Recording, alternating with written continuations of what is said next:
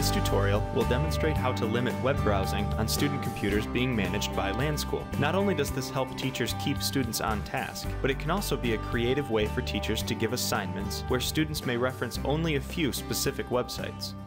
Web limiting can be applied to one or more student computers by simply selecting the thumbnails from the console and clicking the Limit Web button in the toolbar. If no thumbnails are selected, web limiting will be applied to all student computers. When web limiting is enabled, you will see the Limit Web icon displayed over top of the student thumbnail.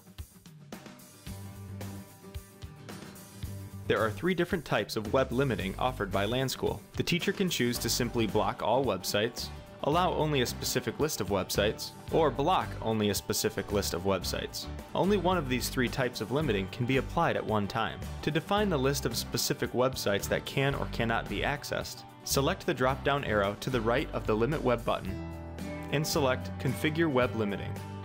If you want to limit access to all websites except for a few, enter the website addresses you want to allow into the Allowed Websites section. If you only type the domain name of the website, like wikipedia.org, any website address with that domain will be accessible. If you define a more specific address like wikipedia.org forward slash wiki forward slash lanschool, then only that specific page will be accessible. When web limiting is enabled, and a student tries to access a website not on the allowed list, their internet browser will redirect them to a page explaining that the site has been blocked. LanSchool will also list all of the websites that the student is allowed to go to. Students can click on those links right from this page. If you want to allow access to all websites except for just a few, enter the website addresses you want to block into the Block Websites section. LanSchool is not meant to replace your school's content filter. Instead, use this section to steer students away from a handful of specific websites when working on a certain assignment. For example, if you enter wikipedia.org here, students will be able to research a topic using any website they can find.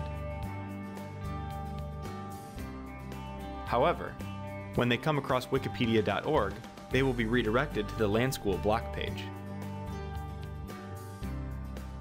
You can save the lists of allowed websites and blocked websites so that you can quickly load different predefined lists for different group of students throughout the day.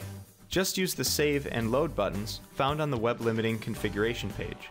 To turn off web limiting and allow students unfettered access to the web once again, simply click the Limit Web button on the toolbar a second time to toggle this feature off. This concludes the tutorial on limiting the web on student computers. Find more tutorials like this and other methods of support by visiting our website at www.lanschool.com.